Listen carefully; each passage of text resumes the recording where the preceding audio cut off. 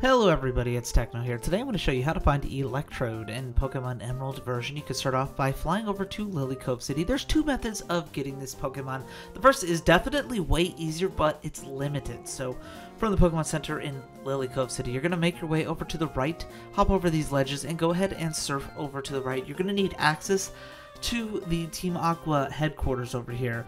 Uh, if you don't have access to that, then you just got to proceed in the story a little bit more. And once you can come inside here, go ahead and surf directly upward and make your way to the door in the upper right hand corner. Now, once you're in this door, you're going to take the warp panel on the left. And once you take that panel, you want to go to the warp panel that's all the way at the bottom left over there. So you want to go around this desk and table and whatnot. And in this next room, it's a little confusing, so make sure you pay attention here. It's not super bad, but uh, in this first warp, warp panel, you want to go ahead and choose the one on the left. Then you want to choose the middle one, which you don't have any other option.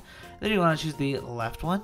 Then you're going to want to choose the left one again, so go around the middle one. This will take you to uh, the uh, office, the base office here. And there are four items on the ground here, two of which are Electrode. The bottom right one, and if you somehow manage to not catch or KO this Pokemon, I just recommend saving if they're here. That'll make it easier for you.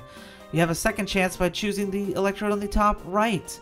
Now, if you miss that one, if you KO it or it explodes or uh, you run out of Pokeballs or something, whatever, you can still catch Electrode in the wild, but it's way harder. So literally save if you have those there. That way you can just save yourself the trouble.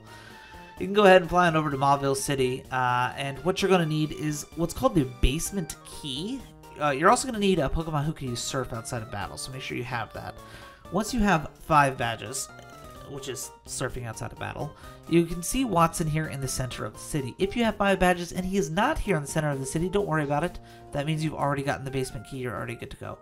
But he's going to give you the basement key if this is your first time speaking to him here in the center of Mauville. And then you can make your way down into Route 110 and go ahead and surf in the water under the cycling road, the seaside cycling road.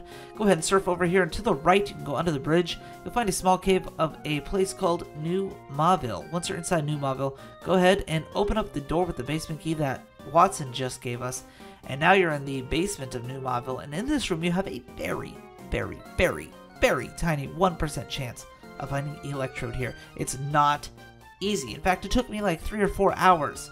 Thanks to the help and blessing of my uh, little buddy, Pixel, I was able to find this Electrode uh, conveniently right when he said it would spawn. So I don't know if he has magical powers or something, but he made it happen. So that's how you find Electrode in Pokemon Emerald version. And of course, if you're interested in more free of fluff video guides like this one, go ahead and click the playlist that's on screen now. I hope you enjoyed, and Techno's out.